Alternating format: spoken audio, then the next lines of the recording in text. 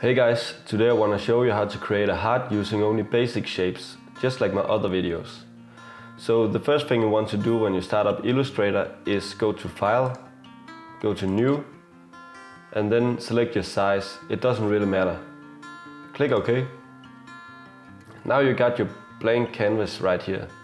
So before we start drawing, you want to go to View and go to Snap to Grid, then go to View again, go to Show Grid. This will enable, enable you to snap to the grid and makes it much more easier to, to draw precise shapes. So the last thing you want to do before you start drawing is go to Window and go to Pathfinder. We will use this later. So now we zoom in a little bit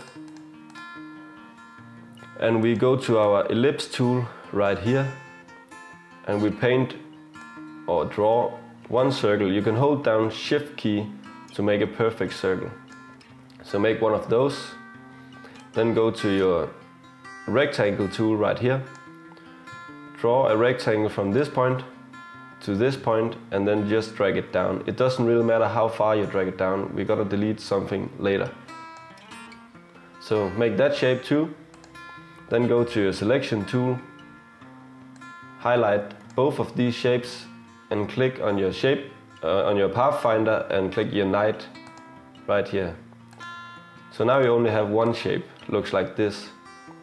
So click on this shape, hold down your Alt key and then duplicate this to the side right here. So now we got two of these shapes. So we need to rotate these sh shapes 45 degrees. We do that by holding the corner right here so you see the arrow, arrow is bending right here and hold down your shift key and just drag it and it will rotate 45 degrees for you. Do the same thing with the other one, just the other way. So now we just need to push these two shapes together.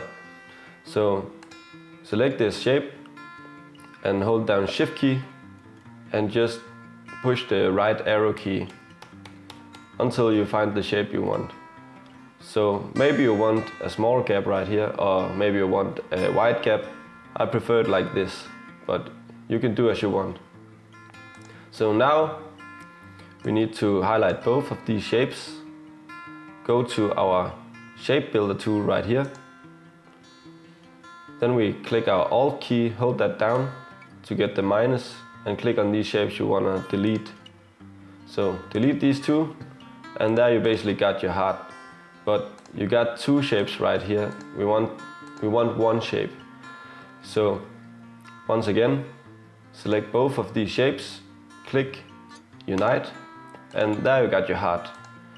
So now you can just make it whatever color you want. Maybe you want a red heart without a border. So that's your heart. Thanks for watching. If you like, you can click thumbs up or make a comment if you got something else you want me to do. Thank you for watching. Bye.